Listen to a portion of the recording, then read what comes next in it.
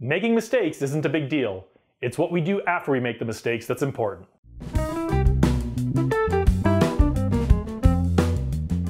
Welcome back, and congratulations on taking one more step towards becoming one of the great leaders of tomorrow. This April, we're talking about growth and rebirth here at Evil Genius Leadership, and there's no better example of rebirth than overcoming a mistake we may have made. Sometimes it may seem that we're living and working in a culture that doesn't tolerate mistakes, but the truth is mistakes are inevitable, and overcoming a mistake in a healthy way can help us improve ourselves for the future. While we'd all prefer not to make any mistakes, we all do, and recognizing we've made a mistake is the first step towards getting past it. So how do we know when we've made a mistake? Well, usually someone else will tell us, and that's not a very pleasant experience. But sometimes we find that the results of a decision we made or an action we took don't match the results we intended. And if this is a small difference, that can be okay. But sometimes the difference between intended results and actual results is so great that we've got to admit to ourselves we made a mistake. The first thing to do when we see we've made a mistake is to admit it to ourselves. This sounds really easy, but in practice it can be very difficult. We might find ourselves saying, it's not so bad, or maybe no one will notice. But if we hear ourselves saying these things, we might be rationalizing and not really looking at the situation objectively. Equally important as admitting we made a mistake is accepting accountability for our role in it.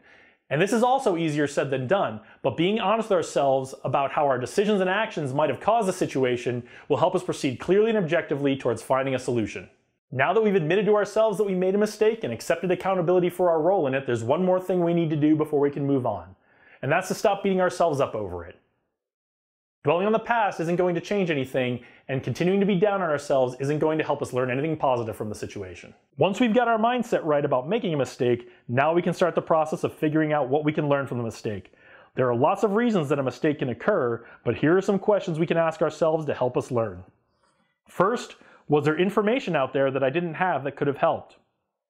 Was there information that I had that I didn't use to make my decision? Was there someone I know with experience I could have consulted before proceeding? Were there others who had an opposing or different perspective that I could have considered? Were there external factors that I didn't consider or fully understand? Or did I have a thorough understanding of the flow of the activity and the people who needed to be involved?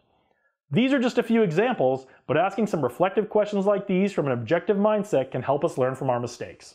Armed with the answers from our reflective questions, now we can start to put together a well thought out plan to correct the mistake. And notice that I said well thought out. As we've talked about in other videos, knee-jerk reactions to bad situations often cause more trouble than the problem they were originally meant to solve. Assessing all of the answers to our reflective questions and digging down to root causes is the best approach to correcting a mistake. And this doesn't have to be a long and time-consuming process. If we get our minds right, ask the right questions, and dig down to the right answers, we can come up with a really effective plan in less time than it took to watch this video, and certainly less time than it took to film it.